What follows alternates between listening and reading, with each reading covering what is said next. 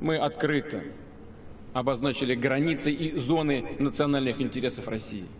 И экономических, и жизненно важных, стратегических. Прежде всего, это наши арктические акватории, воды Черного, Охотского и Берингового морей, Балтийские и Курильские проливы. И защиту будем обеспечивать твердо и всеми средствами. Ключевое здесь – это возможности военно-морского флота. Он способен молниеносно ответить всем, кто решит посягнуть на наш суверенитет и свободу.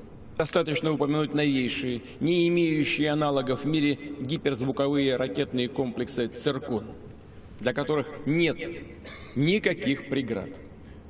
Уважаемые товарищи, их поставка в вооруженные силы России начнется в ближайшие месяцы.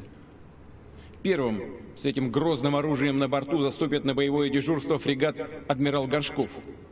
Район несения службы корабля, оснащенного гиперзвуковыми крылатыми ракетами «Циркон», будет выбран исходя из интересов обеспечения безопасности России.